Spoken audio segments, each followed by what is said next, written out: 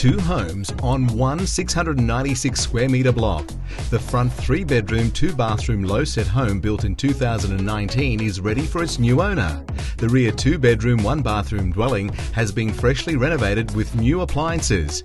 Side access for your boat caravan leading to the two bay shed. Situated on Bribie Island Road and only a five minute drive to the Pumicestone Passage.